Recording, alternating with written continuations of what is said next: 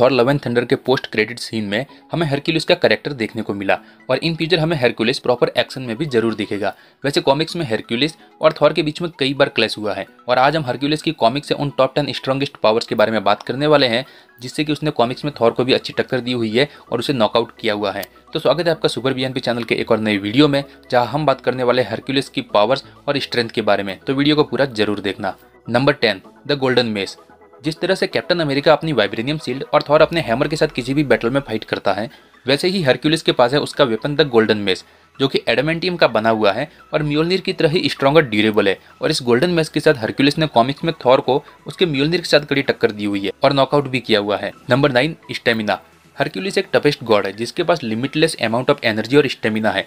उसकी body fatigue toxic को produce नहीं करती है, जिससे कि वो कंटिन्यूसली 100% एफर्ट के साथ लंबे टाइम तक फाइट कर सकता है। Number eight reflexes Hercules hand to hand combat में मास्टर है, जिस वजह से उस पर होने वाले अटैक्स को डॉज करना उसके लिए काफ़ी ज़्यादा ज़रूरी है।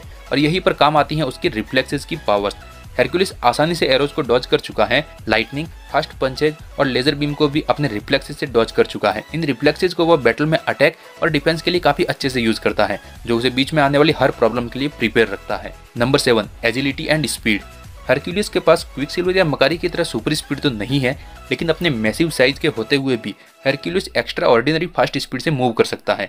Hercules huge amount of force के साथ काफ़ी अच्छी स्पीड से रन कर सकता है। नंबर सिक्स पावर जंपिंग ज़्यादातर सुपर हीरोज के पास फ्लाइंग एबिलिटीज होती है, जिससे कि वो हवा में उड़ सकते हैं, लेकिन हरक्यूलिस के पास ऐसी कोई भी एबिलिटी नहीं है। वह हवा में उड़ने वाले ओपोनेंट के अगेंस्ट अपने पावरफुल जंप से फाइट करता है। हरक्यूलिस एक बार में हंड्रेड फीट तक आसानी से जंप कर सकता है और अपने पावरफुल जंप से वह हल्क की तरह ही जंप बेस्ड अटैक भी कर सकता है। नंबर फाइव इमोर्टिलिटी हरक्यूलिस के ट्वेल्व लेबर्स को पूरा करने और उसकी स्ट्रेंथ की फीट्स को देखने के बाद ज्यूस ने उसे गॉड बना दिया और इसके साथ ही हरक्यूलिस को इमोर्टिलिटी का वरदान भी मिल गया। और हरक्यूलिस कई सारी सेंचुरीज से ज़िंदा है, लेकिन अब भी उसकी पर्सनैलिटी एक एडल्ट वाली है, जिससे कि वो टप से टप ओपोनेंट के अगेंस्ट भी कंटिन्यूसली फाइट कर सकता है, और यह उसे एडवांटेज भी देती है उस फाइट में।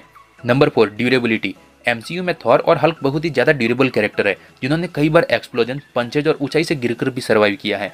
लेकिन हरक्यूलिस इनसे भी एक कदम आगे है। कॉमिक्स में उसने ज्यूस के थंडरबोल्ट और थॉर के म्योलनिर के फुल ब्लास्ट तक को सर्वाइव कर लिया था। वैसे हरक्यूलिस के पास खुद को प्रोटेक्ट करने के लिए कोई आर्मर या फिर कोई और दूसरा तरीका नहीं है और ऐसे में सिर्फ़ अपनी ड्यूरेबिलिटी से ही वह स्ट्रॉन्गेस्ट ओपोनियंट के अगेंस्ट फाइट करवाता है। और कई पावरफुल गॉड्स और कॉस्मिक लेवल ओपोनियंट से फाइट करते हुए उनके द्वारा किए गए अटैक को सहन कर पाता है। Number three, archery. हरक्यूलिस के पास इनक्रेडिबल स्ट्रेंथ है, जिसकी वजह से फाइट में उसे किसी और स्किल या फिर किसी और एबिलिटीज की ज़रूरत नहीं होती। लेकिन लॉन्ग डिस्टेंस फाइट में अटैक करने के लिए आर्चरी उसे बहुत काम आती है और हरक्यूलिस आर्चरी में मास्टर है। हरक्यूलिस की स्ट्रेंथ और पावर के साथ उसकी यह स्किल उसके तीर से किए गए अटैक को और भी ज़्यादा डेडली बनाती है। नंबर टू रीजनरेशन हरक्यूलिस की ड्यूरेबिलिटी के कारण एक बैटल में उसे इंजर्ड करना नियरली इम्पॉसिबल है। लेकिन फिर भी अगर किसी तरह कोई पावरफुल कैरेक्टर उसे इंजर्ड कर भी लेता है तो भी वह किसी भी तरह की इंजरीज को तुरंत हील कर सकता है। पर इससे वह इटरनल्स ओलंपियन गॉड्स और यहाँ तक कि थॉर के अटैक को भी झेल चुका है और वह मार्वल के कई स्ट्रॉन्गेस्ट विलन को भी कड़ी टक्कर दे सकता है। Number one unparallel strength Marvel comics में किसी भी कैरेक्टर की स्ट्रेंथ को उसके वेट लिफ्टिंग करने की कैपेसिटी से मापा जाता है। और हरक्यूलियस की ग्रेटेस्ट स्ट्रेंथ क्लास 100 की है, जिसका मतलब है कि हरक्यूलियस कम से कम 100 टन तक का वेट लिफ्ट कर सकता है और उसने कई बार इस लिमिट को तोड़ा भी है। एक बार हरक्यूलियस ने मैनहेटन के पूरे आइसलैंड को कुछ टाइम के लिए लिफ्ट किया हुआ था और इसी वजह से हरक्यूलियस को गॉड ऑफ़ स्ट्रेंथ भी कहा जाता है।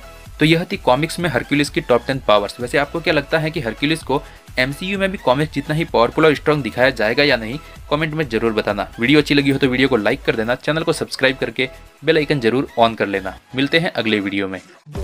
Around, don't get caught in the mosh pit.